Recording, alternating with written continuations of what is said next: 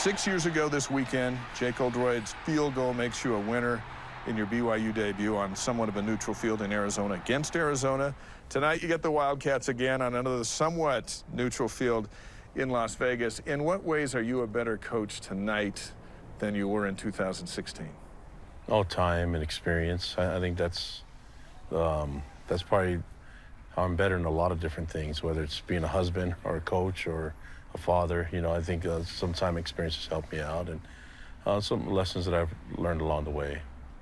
Jaren Hall's going to start for your quarterback tonight. What are your expectations for him? Yeah, I want him to just have fun, let loose, and and um, you know he's got high expectations for himself.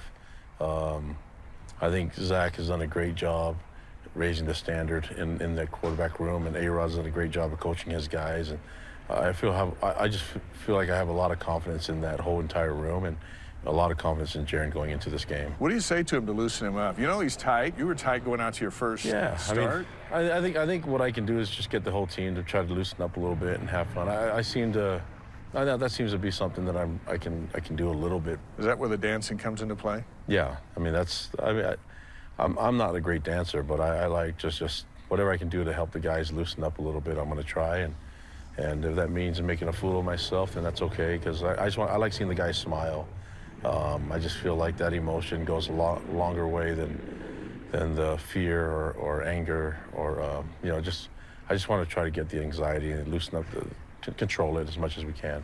What do you hope Jaren learned from watching Zach all last season? Oh, I know he's picked up a lot. Uh, uh, that entire room last year, uh, those guys are all here. So Baylor, Jacob, Jaren, those guys have picked up a lot, and, and I think that uh, it, it, shows in the way that they performed this fall camp. Um, I just want them to just go and have fun, and just remember that they're part of a team. They don't have to do it all by themselves. They can rely on other weapons that are around them and, and the teammates and even the other phases of the game to help them win. He has two previous starts, 2019, both ended with concussions. Are you, are you worried about that trend? No, I think there's a long time that went in between that. And I just think a lot of growth has happened. He's seems to have a great command of, of you know, the offense, but more importantly, just knows the game a little bit more. So I think he, we have to trust him to help protect himself. And, um, you know, I, I, think he's going to be just fine. We'll, we'll have to see. I mean, you got to get out and play the game, but it's not like we practice taking shots on him. Right. I, I think uh, time has held, allowed him to heal, and it's allowed him to grow and learn. If there's a third, is that it? Is that it for him? I don't know. I don't. I mean, I'm not. I'm not sure on, on, on how it all works. I'm not a. I'm not in the medical field, but yeah. I'd like to give a guy as many chances as, he, as they can get. Tyler Allgeier came to BYU as a walk-on, played linebacker, little running back in 2019. He told me he was about to leave school after the bowl game that year because he'd run out of money. But over the holiday, you gave him a scholarship changed his life. He gave you over 1,100 yards last year as you mm -hmm. switched him to full-time running back. He appears to be preparing for this season as a man on a mission. Yeah, he's been doing that since he first got here. So I, I think uh, it, it, took a while to get get that to him. It took a while to get him in a position where he would feel the most comfortable, and running back was the position, you know. So uh, I think we we did the right thing as a coaching staff and get him a scholarship as, as soon as we could. Um, and but the hard work has been there from the very beginning, and I appreciate his sacrifice and his trust in us as coaches in, in this program. He said there's a little chip on his shoulder because of the the yards that he got and the 13 touchdowns against the schedule that so many have have called into question last year despite going 11 and 1 and there feels like there's kind of that feeling with the players uh, to go out and prove last year with this year how do you work through that no, I think that's fine. I think it's okay that they can they feel like they have to prove something. That's that's uh, obviously there's a lot of talk going around, and we lost a bunch of great players, you know. So this is an opportunity for these guys to step up, and the returning players like Tyler and others like Lopini that that uh, you know are hearing the, the, the narrative out there about it, and so this is their time to to make it count on the field, and we'll we'll see what happens. Linebacker Payton Wilgar is at the heart of your defense. Might be the best football player on the roster. What kind of leadership are you looking from him tonight in a game where there is so much emotion, enthusiasm, and celebration? Yeah, I think he just has to be himself. I don't think there's anything special that he needs to do other than be himself and play. His, you know, I, sometimes guys get named captains and they feel like they have to step out of, out of their own personality. I think he just be himself uh, lead the team and, and, and his example because he, he's one guy that, that you can always point to that works hard, and is always focused, and so as long as he keeps doing that, that's why the team voted him captain because they they trust him and they see how hard he works, and that's all he needs to do. Both he and Allgeier are walk-ons to your program, and tonight they are the leaders of your program. What does that say about those two kids and your walk-on program? Well, it just says that that uh, everybody has a chance here, you know, and through hard work and dedication, um, you know, we have a coaching staff that's going to play the best guys, and so we have a program that we feel like it can develop players. Um, and, and development means it doesn't have to mean a long period of time. It can mean one year to the next. You saw the improvement that Zach Wilson made in one year. So who knows when you have a team full of 123 guys, how much improvement they can make from one year to the next. We'll find out. We'll find out in this game. I asked your family for some help on these final questions. this one's from KK, your 11-year-old. He asks, I get nervous before I play sports sometimes. Do you ever get nervous before coaching your games? All the time. Yeah, I I, I, I kind of embrace it. I just love it. I, I love the the feeling. It. I miss playing. Uh, there's nothing like playing the game, and so I think the next best thing is coaching. But I still get nervous because I don't get to go out there and play. So I, I think it means it's a lot harder. It reminds me of what it's like to be a fan.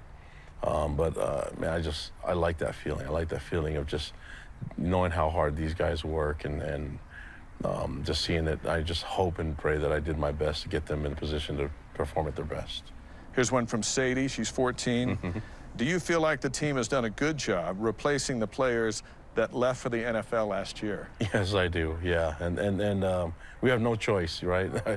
uh, those guys aren't coming back, and I'm wishing them the best in, in, in the NFL. But yeah, I, I really feel comfortable with the guys that we have on our team. It's, it's their time to shine now, and um, 2021 is going to be their, their their moment. So I'm I'm looking forward to seeing them take the field and having a lot of fun in, in their new roles. All right, here's one from Sky, and this has everything to do with being 17.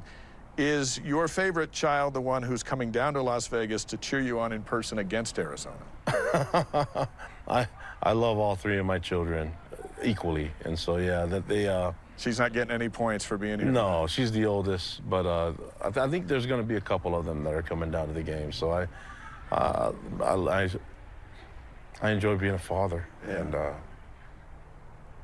just just happy that I get to share this moment with them at BYU. All right, finally from your wife, Timberly.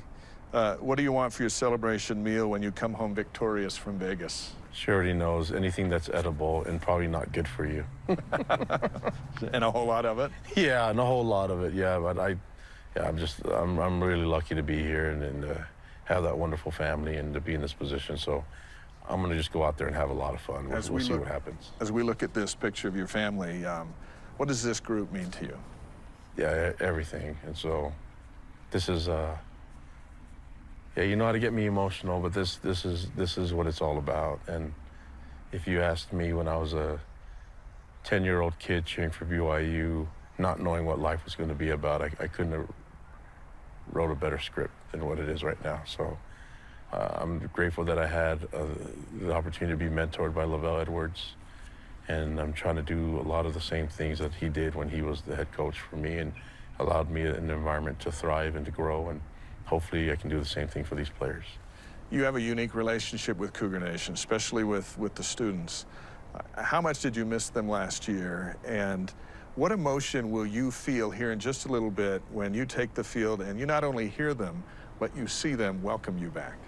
Oh, it's, it's going to be emotional. I, I- I'm going to get really excited, but um, last year just that was really rough, you know, not not having everyone. Even though we were able to play a game, I was really thankful for the opportunity to play the game. But um, the game is meant to just be shared with everyone, and that that means the the fans that are there and the fans that are watching, and just felt like there there wasn't a great enough connection.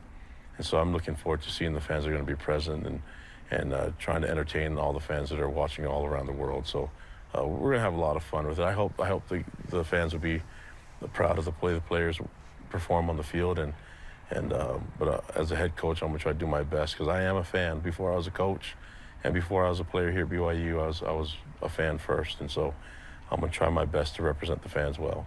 Good luck. Thank you. Go Cougs.